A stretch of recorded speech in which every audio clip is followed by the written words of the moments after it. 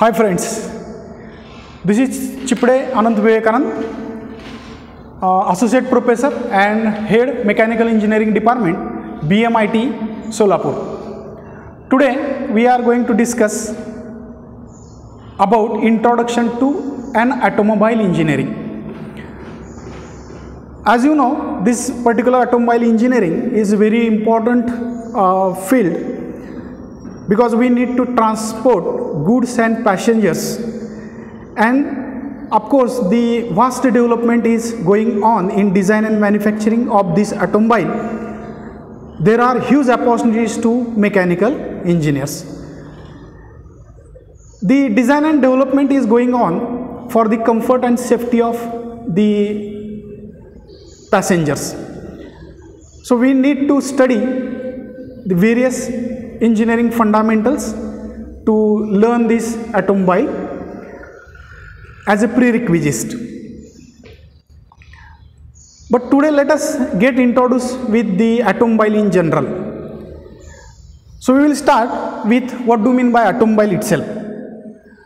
Now what do you mean by automobile? You see there this auto means self and mobile means moving or it is also called as propelling. So the self moving or self propelling vehicles are called as a automobiles which are moving or propelling on grounds. So the vehicles which are moving on grounds are called as a automobiles. So the aeroplanes, uh, helipads, helicopters, trains, naval ship, boats, those are not coming under the category of automobile. But the road vehicles, which may include two wheelers, three wheelers, four wheelers, all these come under the category of automobile. Now, let us see the various systems of automobile and get introduced with the automobile engineering. Right. This particular subject is or the coursework is very important since it is introduced in all over the universities of the uh, in the world. It is because of the various opportunities to mechanical as well as the automobile engineers. The about 70 percent of Indian industries are based on this automobile uh, sector. So the learners to for the especially for with this today's my session the learners will take away the introduction of about, about the automobile system and also uh, they will be acquainted with the uh, uh, automobile vehicles or type of the automobile vehicles in general right? So now let us get introduced with automobile systems various automobile system right? So the automobile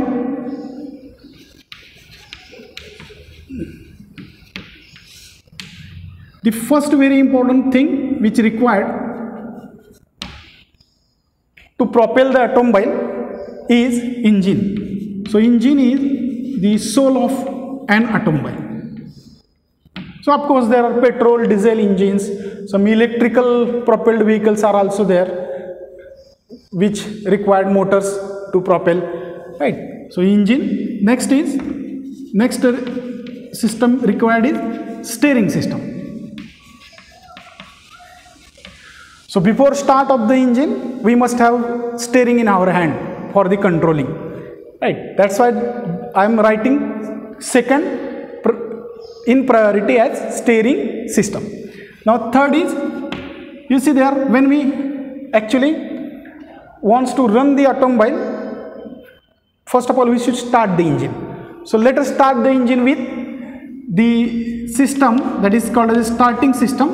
And in general we can call it as a electrical system so the electrical system in electrical system the first important is starting system. So very first we apply the key we switch on the key and it means that we start the starter.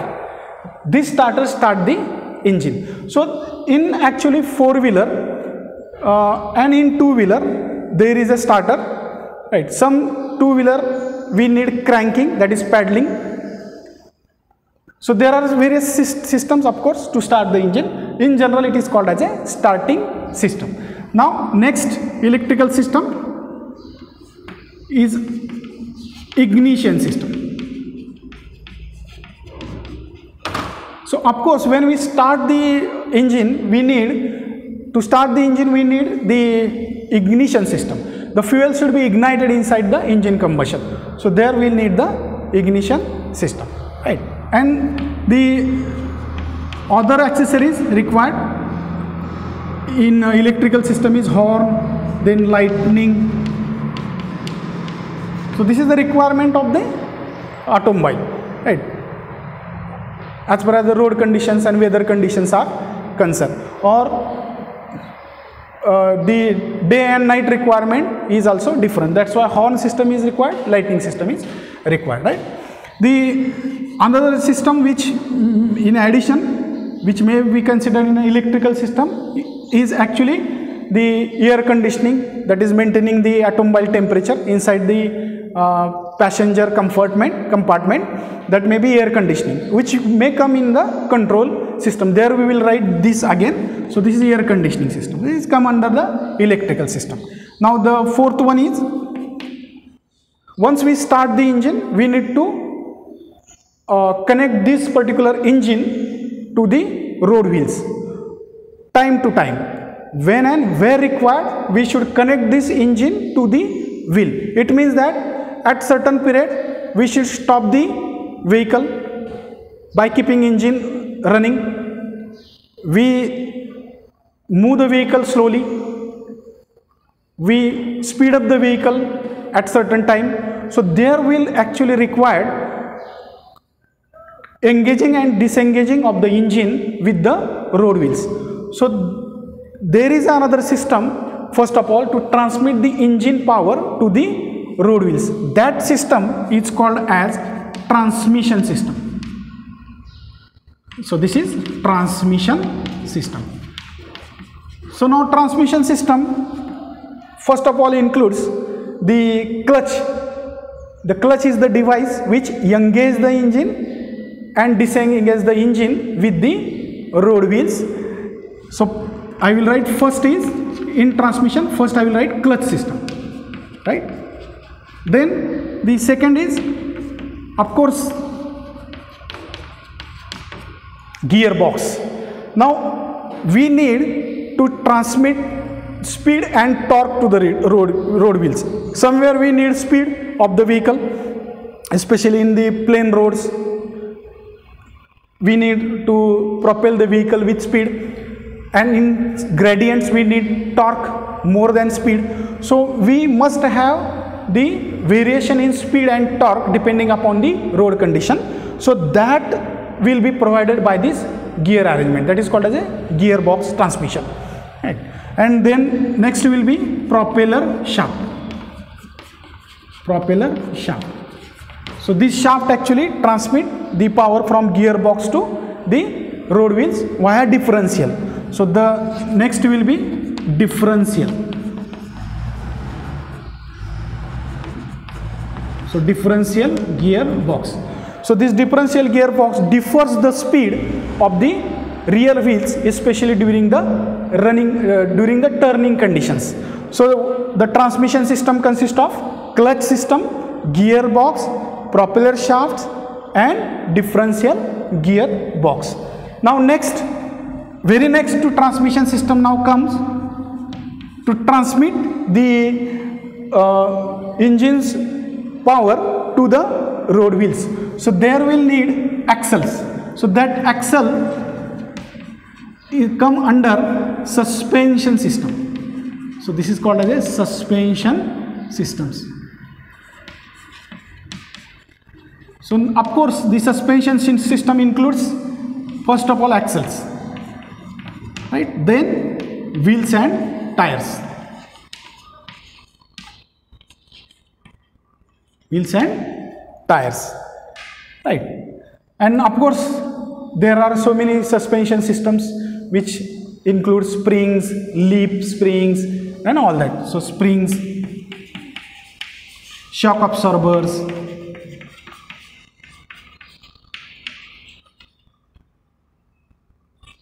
This we will study in detail. So this is this come under the suspension system right? And then the very important thing which required as i told you is control system. So we need to control the vehicle speed time to time depending upon the road conditions depending upon the uh, what we can say obstacles. So this is called as control system. So the first important control system is of course braking system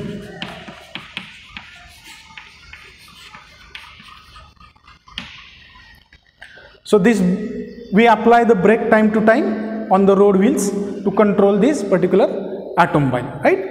Now acceleration. So accelerator.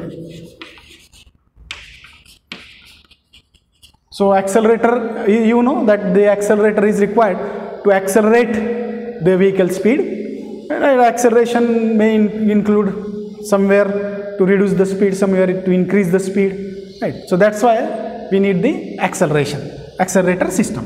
And as i told you that somewhere this uh, vehicle comfort or passenger comfortness in the compartment of the passenger we require air conditioning system and all that. So that also can come under the control system or electrical system we can talk it like that. So this is these are the automobile engineering systems in general which is which start with engine then steering system of course there are various types of steering that you know uh, Ackermann steering Davis steering that we have to learn.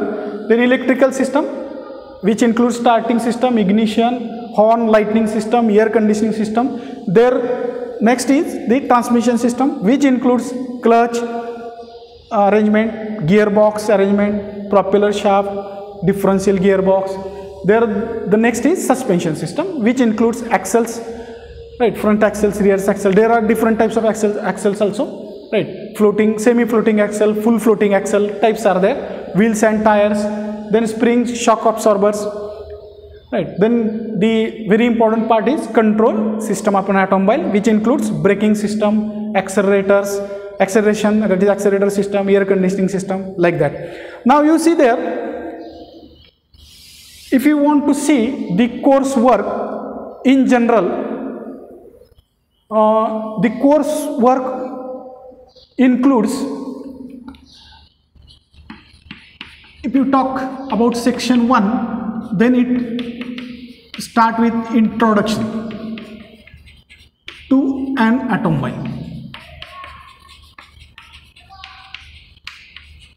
right. then performance of an automobile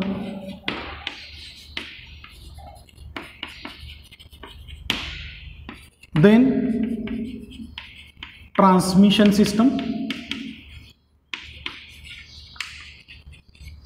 Then electrical system.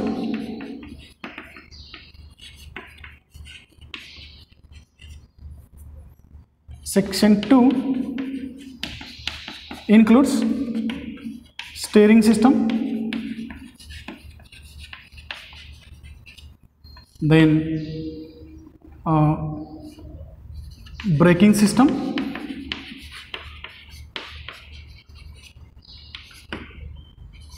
Suspension. And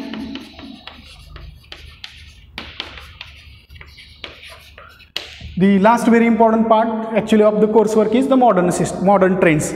So we need to study the uh, current affairs about the automobile current uh, development of the automobiles. As you know that mm, we have now automobiles we mm, having our solar operated automobiles right? Electrical uh, energy operated uh, automobiles based on the motors and all that. So that come under the modern trends of an automobile right?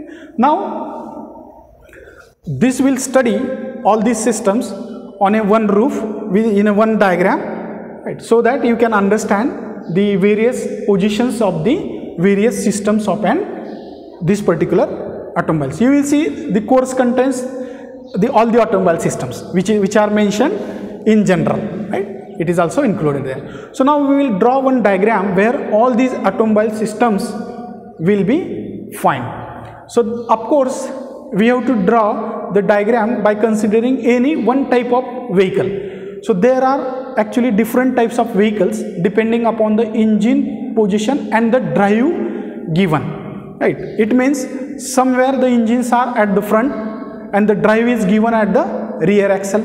Somewhere the engine is at uh, rear the drive is also at rear.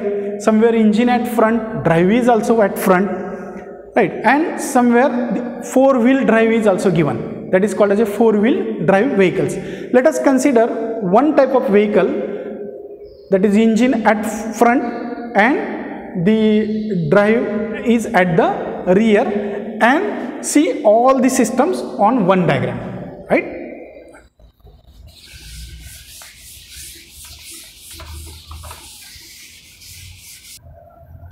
Now let us see the rear engine and rear engine and rear drive rear drive vehicle just as one example we'll draw the uh, diagram which includes the automobile systems for this type of vehicle. So the vehicle type is rear engine and rear drive vehicle. It means that the uh, or rear engine or front engine better way. We should do better way front engine. It will be simple to understand, right? Of course, we can study rear engine and rear drive also. Let us study front engine and rear drive vehicles, right? So it means that engine at front and the drive is given at the rear axle. So the diagram is like this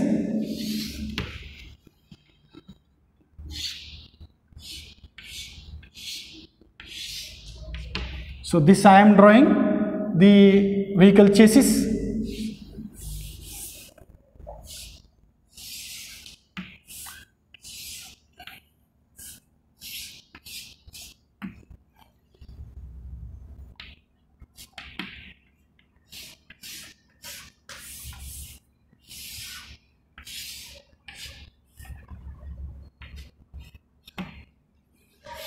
Slightly it is narrow and here it is widened so that's why it is drawn in this way. So this is a vehicle. I'm drawing the vehicle chassis first. So the first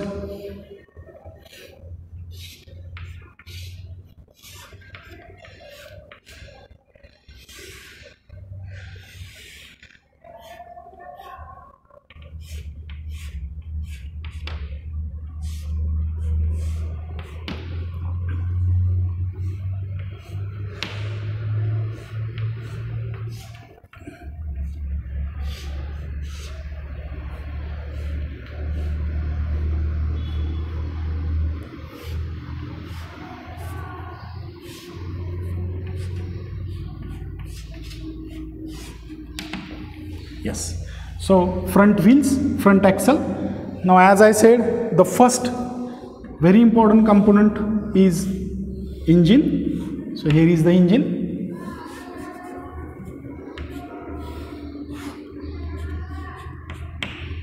Right? Then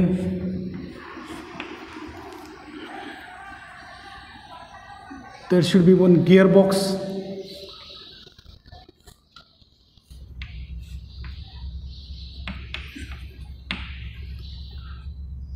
the engine should be engaged and disengaged with the this particular uh, rear axle as per the conditions road conditions right? So there will require one device which will engage and disengage this engine with the gearbox. That device is called as a clutch. So here we show it this as a clutch system. So of course the when clutch is there the flywheel is there. So clutch and flywheel this is flywheel this is clutch. This is the engagement right? The engine this is clutch this is gearbox. Right? Then the next is propeller shaft. So of course two universal joints.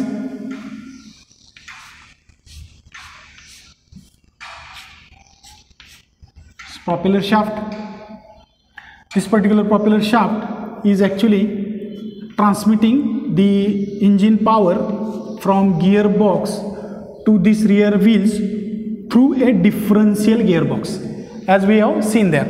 So this differential gearbox is required to defer the speed especially during turning of the vehicle. So now, so here is a propeller shaft, uh, two universal joints. So this is the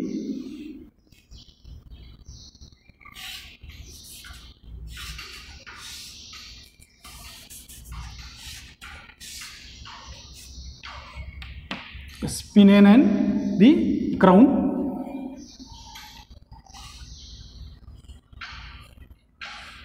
So this arrangement is epicyclic gear train arrangement. You might be aware about this. Or actually we are also going to see this in detail in uh, transmission system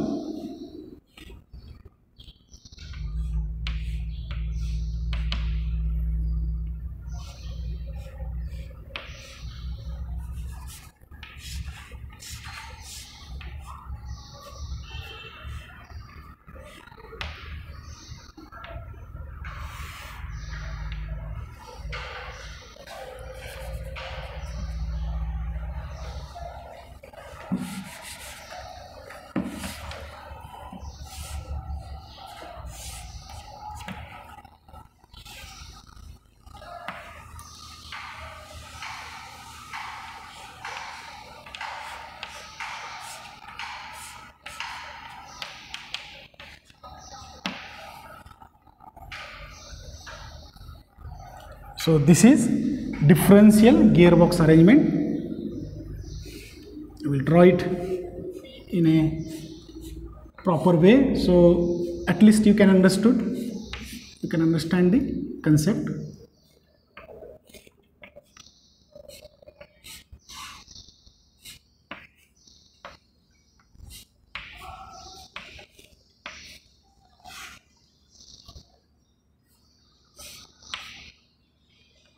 Yes in this way this is the differential gearbox arrangement differential gear box arrangement this particular right and of course can show it in this way so this is differential gearbox arrangement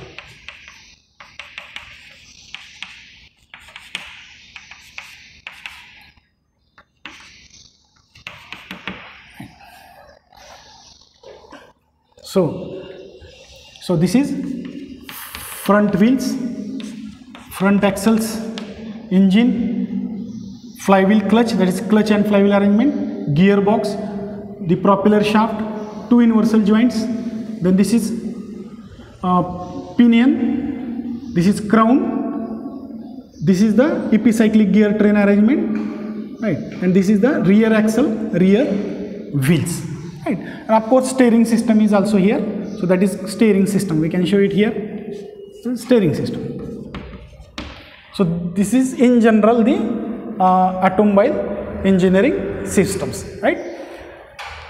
Hope you understood the various positions of the uh, automobile systems. Let us conclude uh, this today's session. So we in today's session we learn the various automobile engineering systems and their positions on the automobile. Also we came to know the various opportunities with the design and manufacturing in automobile engineering while uh, after studying the automobile engineering right? Let us hope that you have got introduced with the automobile engineering coursework at least right? Thank you